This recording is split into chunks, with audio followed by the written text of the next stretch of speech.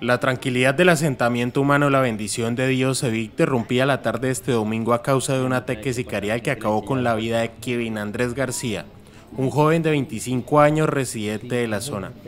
Si bien la autoridad hizo presencia en el lugar de los hechos donde se llevaron a cabo las respectivas investigaciones, aún no se ha dado a conocer los motivos ni los responsables de este lamentable hecho.